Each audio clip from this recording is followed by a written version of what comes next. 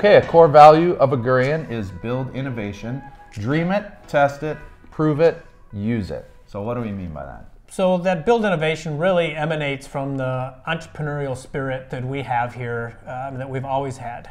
Uh, and part of what we want to do is challenge our team and ultimately challenge the industry by providing new technologies, new processes, and um, new services.